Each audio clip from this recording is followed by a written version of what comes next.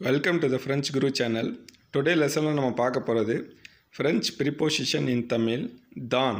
So தான் அப்படின்ற வார்த்தையை பற்றி தான் நாம் இங்கே பார்க்க போகிறோம் தான் அப்படின்னா இன் அப்படின்னு அர்த்தம். தமிழில் இல் அப்படின்ற ப்ரிப்போசிஷனாக வரும். அதோட பயன்பாட்டை பற்றி நம்ம இங்கே பார்க்க போகிறோம் வாங்க லெசனுக்குள்ளே போகலாம் ஃபர்ஸ்ட் ஒன் எல்சோ பேசிபித்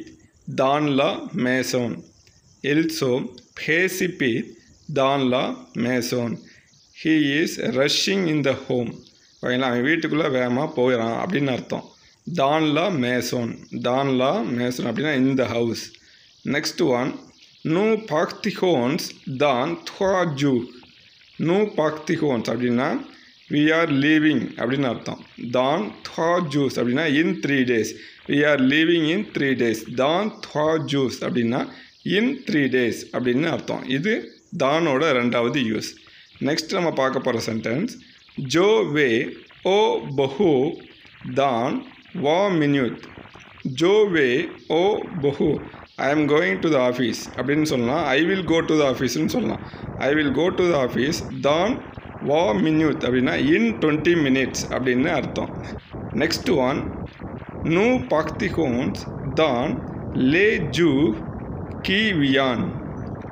நூ பாக்திகோன்ஸ் அப்படின்னா வி ஆர் லீவிங் தான் லேஜு கீவியானா we are leaving in some days நாங்கள் இன்னும் சில நாட்களில் இந்த இடத்த விட்டு போயிடுவோம் அப்படின்னு அர்த்தம் நெக்ஸ்ட் ஒன்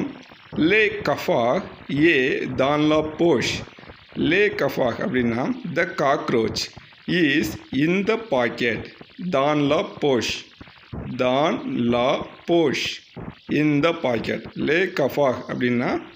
த காக்ரோச் லாஸ்டில் இருக்க டி சைலண்ட் நெக்ஸ்ட் ஒன் ஜாபித் தான் உன் பான்லியூ தாங்கில் ஜாபித் தான் உன் பான்லியூ தாங்கில்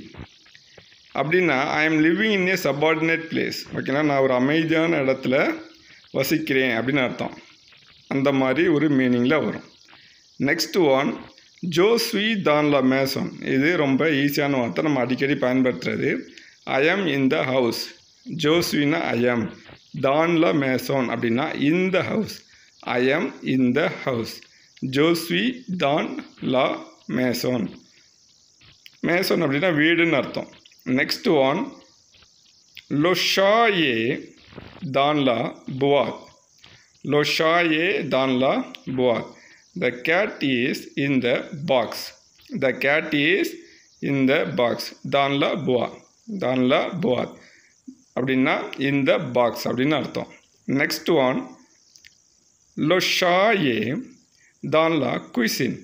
the cat is in the kitchen தான் லா குய்சின்